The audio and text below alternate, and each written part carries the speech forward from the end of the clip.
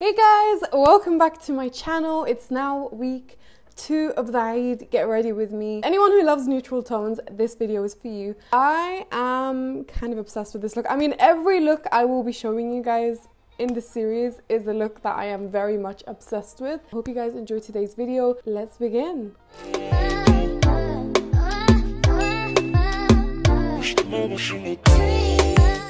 We're going to begin by prepping the skin and as always I'm using the DHC moisturizer. I absolutely love this moisturizer, I've been going on about it for years and if you follow me well you know how much I love it.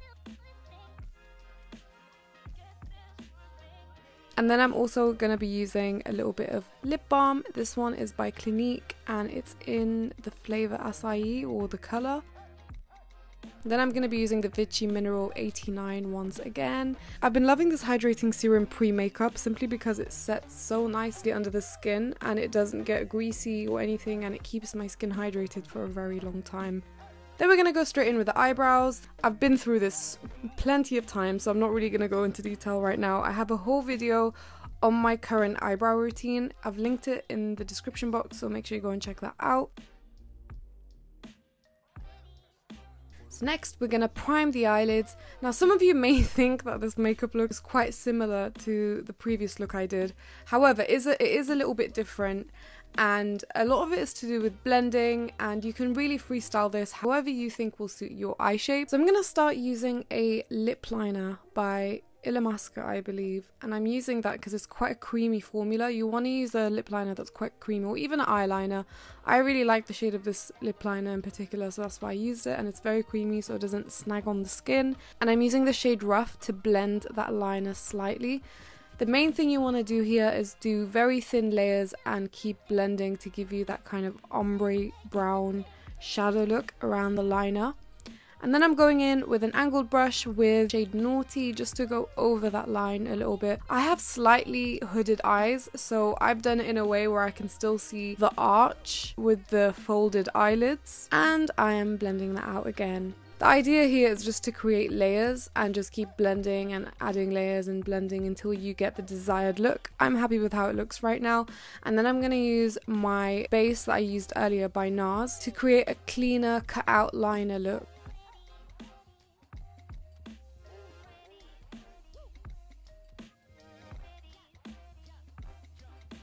And lastly, I'm going to be using the eyeshadow in Hypnotic and I'm just going to fill out that area where I've kind of put the concealer on. Straight with the liner, this is really easy. You're just going to follow where you put the line at the base of your eye.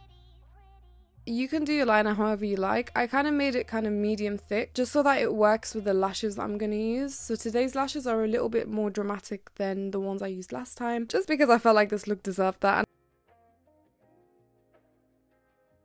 And I'm using these lashes by Faye Lashes. I absolutely love their lashes. And I have a discount code for you guys. Check the description box for that. I believe these are in the style Abu Dhabi and they're one of my absolute favorites.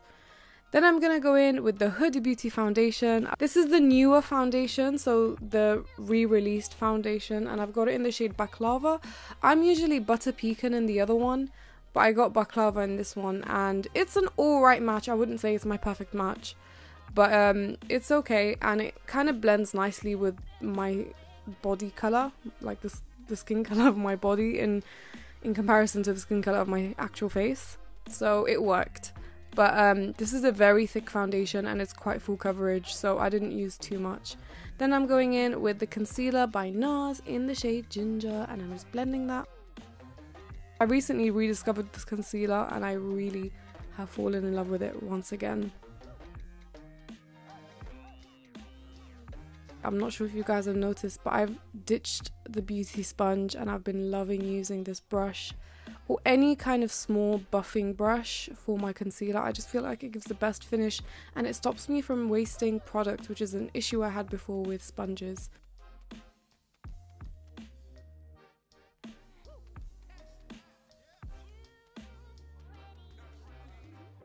Next, I'm going to be going in with Hourglass Translucent Powder. I would like to warn you guys, after I did this makeup, I went out to eat. And unfortunately, this powder does not work with flash photography.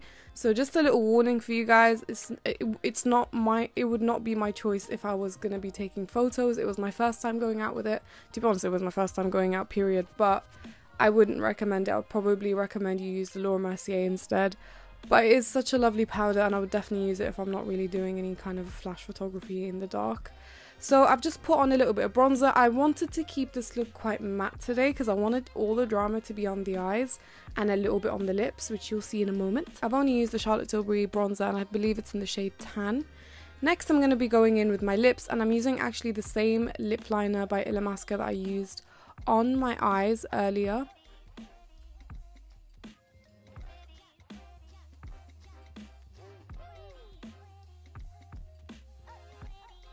I'm just adding some of this new NARS lipstick. I absolutely love this colour. It's like a sheer lipstick. It's not like full coverage and it's got like a natural finish.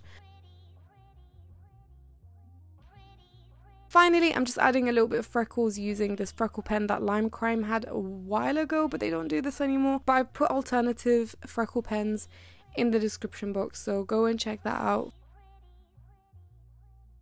And that is the finished makeup look. Let me know what you think about it in the comments below.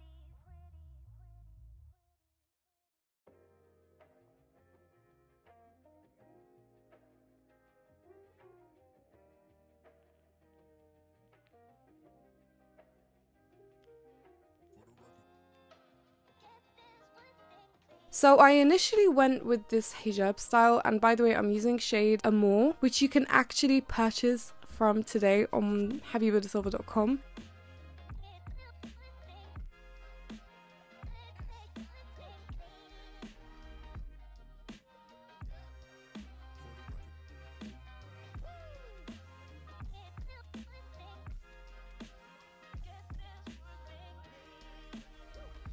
I cannot wait for you guys to see this outfit. So I went with this beautiful, unique abaya that I got from a company called Saleh Fashion and they do the most unique, beautiful abayas. If you love neutral tones, you would love what they have on their website.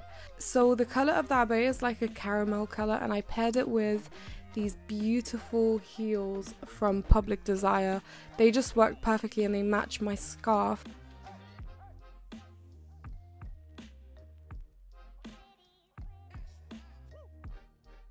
So this is what the abaya looked like with the scarf in the style and I wore a nude maxi dress underneath it here.